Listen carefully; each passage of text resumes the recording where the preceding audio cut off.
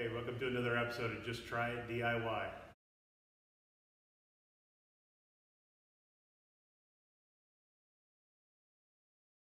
Uh, we got a new uh, lift here to put in for a friend of ours. Um, we're going to go through kind of how it gets put together, uh, some of the tips and stuff that we did not see on the uh, instructions on how to do this.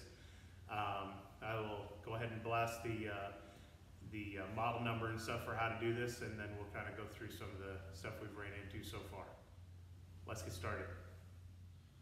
In the instructions here, we found out that as we started putting these together, um, it doesn't really say anything about making sure that this cross member piece is put in before you put in the rails, before you put in the top, or anything like that. So um, as you assemble this, make sure that the, the rails go in between your uprights first, and those get installed.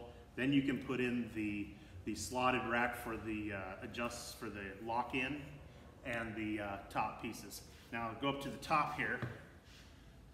The instructions do not really say very good, but the top corners do not face out towards the outside. They're on the inside corner to get the, the cable to line up better as you go down through this. All right, one thing that we did notice that was kind of confusing on the instructions was how this piece got all put together.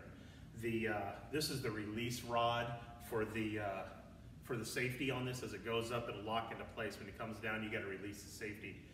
This is what was really, really confusing. It took a little while to understand exactly how this worked and everything, how this was laid out. So um, we're gonna zoom in here a little bit on this and see if we can figure out, and I'll show you a little bit how this works. So right here's the safety, or the, the uh, safety release for the uh, lock. This is how this piece is laid out. There's longer, thin rod that goes across to the other side. These bolts that go through here do have a little spacer in, in, in behind, behind here. And then there's a, uh, a lock uh, screw bolt, nut, nut. Then we have this short rod that goes across. These inside of here, got a little, uh, the thread into the release mechanism on the inside, and this goes across. Now one thing you wanna be careful of and make sure as you're doing this, just as a safety precaution, is to maybe have a safety jack or something underneath like we have setting here, just in case for some reason somebody would happen to hit that release. There's no hydraulics or anything set up to this, so make sure that, that you do have some kind of safety set in here. This is the threaded rod for the release that goes from the front of the lift to the back. It connects in two spots underneath the main rail. So this is very similar to the setup up in the front. Um, you have these bolts here, come in the back side, come through here. These eyelets, there's a lot of adjustment and everything on these. I got the other side already in, so trying to get these lined up, go straight on there. That nut will then come down, tighten into there. We'll put on these outside.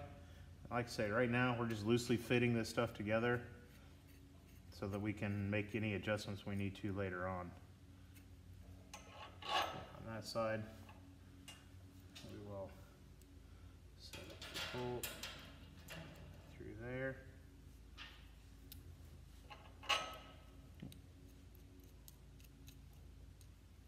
Started here.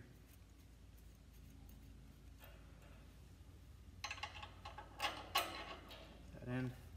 As you can see I need to put it on there a little too far, so not a big deal. Just realized uh, put these on the wrong way. The uh, This one goes onto the top, this one goes on the bottom. Because they're not lined up on the other side, the uh, this rail going through the eyelet in the center was really bowed. So make sure it does go on the top. So. So here's a shot of the instructions on how to put this guide bolt in, but we had a heck of a time trying to figure out exactly which way it went in. And if you look, this is looking from right underneath the post, looking straight up underneath each corner. And you thread it from the inside and it goes to the outside. And that keeps that cable in place.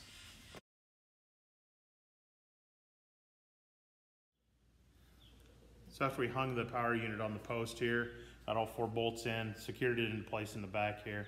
um, hooking up the uh, brass pieces to go into the power unit.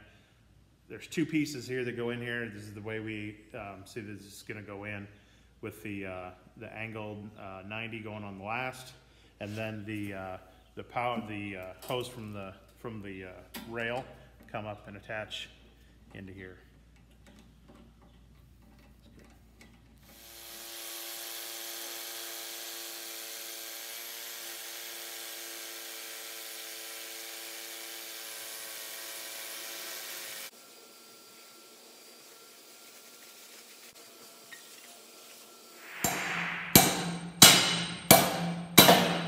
All right, you get the point. You do it all. Four sides. Four corners. All right, so we found out on this here as we pulled this up as high as it'd go, that actually the route of the cable was not in here correctly, and it will not allow it to come back down. The uh, cable needs to come in. There's a second pulley that's right here that grabs a hold of your main uh, support as it sets on here. So this cable's got to come up and kind of make this S and come back around and then through the top. So we had to take off the, the uh, brace that holds this piece in, the, the main pulley. We're gonna pull it back through. This is the easiest way we figured out how to put this in here. Pull this back just enough to allow the top to come off. So this, I can pop this off real easily. And I tried not to move it too much, but as it come up, you'll see this cable right there needs to come around on this side to release that. We're gonna pull this. This is a bolt down here that keeps the cable from popping out also. We get it out of the way. Now all we gotta do is just bring this back down. This cable will keep, stay in that pulley. We'll bring it right back down into place. Pull it back down. Try and give myself a little bit of slack. There we go. Some slack to get that pulley back in there. And, whoop.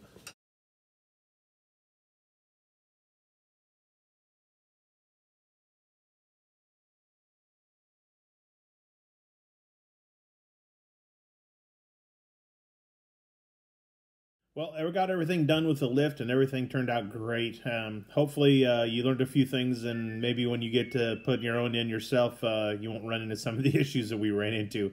So, uh, hey, next time we'll uh, we'll see you again, and uh, if you like this episode, you know, hey, give me a thumbs up, and hey, hit the subscribe button down there, and uh, we'll see you next time.